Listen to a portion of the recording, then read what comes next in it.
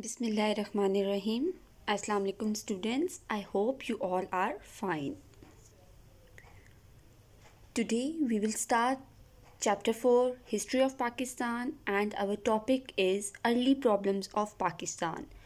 Page number is 93 to 96. Students, Pakistan came into existence as the fifth most populous and biggest Muslim state on 14 August 1947. Lord Mountbatten, the last Viceroy of India, came to Karachi to hand over uh, power to the first Constituent Assembly of Pakistan.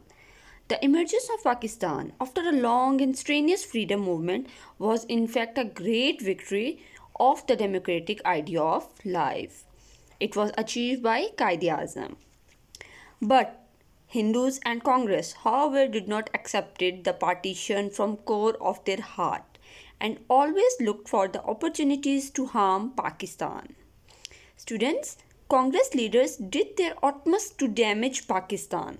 They took measures with the help of British to create problems for Pakistan so that it should not survive as an independent state.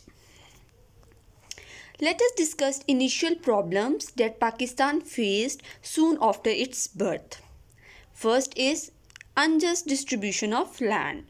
The distribution of land was done unjustly by the Boundary Commission who was assigned by Mountbatten and his name was Sir Radcliffe. As per the instructions given by Viceroy, he distributed the land to Pakistan unjustly.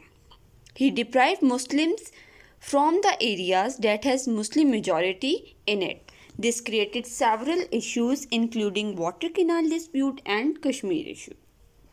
Okay, the other problem was accommodation of millions of Muslim families who shifted to newly established state of Pakistan. These families traveled to Pakistan barehanded, leaving all their belongings in India. It was a great challenge for government of Pakistan, but it tried its best to provide essential necessities to their people. Third comes administrative problems. Okay, students to run any government administration is very essential. So, Pakistan also faced several administrative problems initially. There was lack of officials, offices, furniture uh, items also lacked that caused problem for Pakistan. Okay, then comes distribution of assets.